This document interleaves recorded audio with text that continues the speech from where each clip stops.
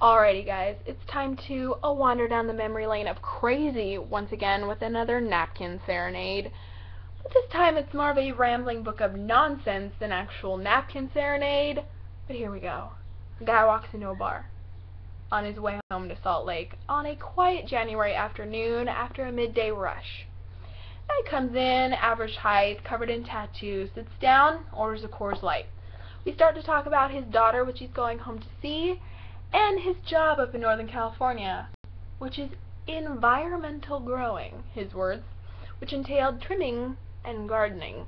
This guy lives a very green life, if you know what I mean, which actually comes up a lot more often in an airport than you would think, but that's a different video for another time.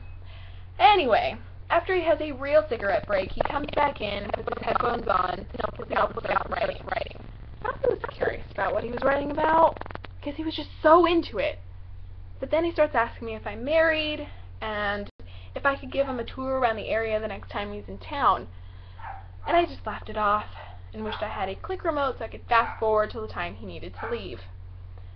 But right before he left, he asked me if I could leave the bar for a little while, and I don't know for what, but, um, no, sorry, not gonna happen.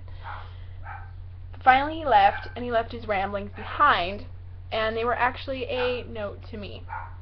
Now, this guy had some bad handwriting, and I have horrible penmanship, just ask my former teachers, but from what I can make out, it was, I will be back soon. I really want to see you again, and I would like you to take me a tour on the area. And then he left his number. The weird part was that he started telling me about this guy and his following people to give him encouragement in life, and this was a random guy random person. And I was just like, that's awesome. Great for you. This has nothing to do with me. Sorry.